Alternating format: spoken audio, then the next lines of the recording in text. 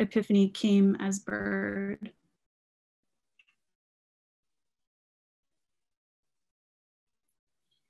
You don't seem to understand that I can't process everything.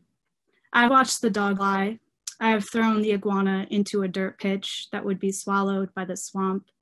I have to laugh about ridiculous pain, about a blender breaking my nose, a concussion too expensive to see a doctor about, the time I cradled my feet to my pits and hummed until it was over, and then the other time it happened again and again.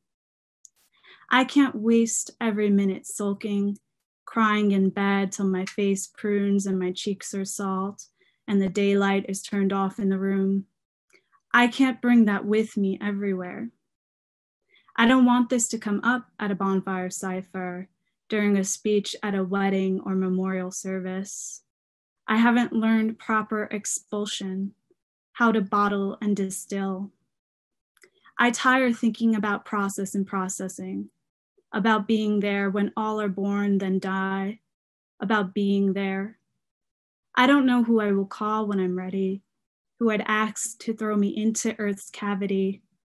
It's the problem I have to solve what to do with me.